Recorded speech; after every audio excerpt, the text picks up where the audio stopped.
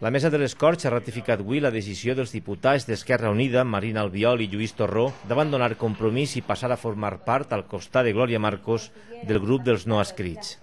Tal com feren ahir amb la coordinadora d'Esquerra Unida, avui la mesa havia de reubicar els altres dos diputats no escrits i amb este ball d'escons ha arribat la polèmica. La proposta que ha fet la mesa és que, eh, diguem, en la fila on estic jo tinguem quatre escons nosaltres i eh, tres darrere eh, els no escrits. No? Això suposa que una diputada socialista que està en el quart escó de la nostra fila hauria de passar a la fila de darrere.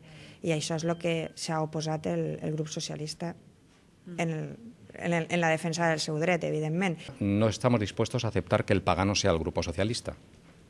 Y lo hemos dicho desde el principio, es decir, en un tema tan, eh, de tan poca relevancia como es el cambio de un escaño de una diputada.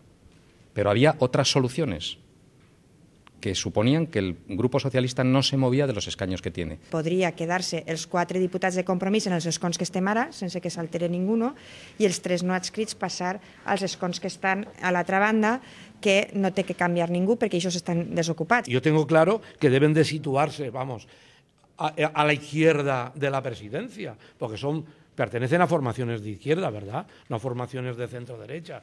A la derecha de la presidenta está la formación de centro-derecha y a la izquierda están las formaciones de centro-izquierda. ¿Que afecta al grupo socialista? Evidentemente. Queda pendent fins dilluns l'atribució de competències i l'assignació dels recursos físics i econòmics de què gaudiran els diputats. Però el portaveu adjunt del PP en les Corts, Rafael Maluenda, ja ha avançat que es garantiran els drets individuals i que també gaudiran d'alguns com a grup, com el de tindre un portaveu. Todo es positivo, respeta enormemente los derechos de los diputados eh, que individualmente considerados, pero a la vez contempla esa posibilidad que una vez ya hemos decidido, que lo hemos decidido, que formen una agrupación mm, de diputados no escritos, pues que tengan unos representantes legales y puedan ejercer sus derechos parlamentarios desde la dignidad. Per al portaveu socialista en les Corts, Àngel Luna, el canvi d'escó és una mostra que els problemes interns de compromís acaben pagant-los els socialistes i que el PP està aprofitant la conjuntura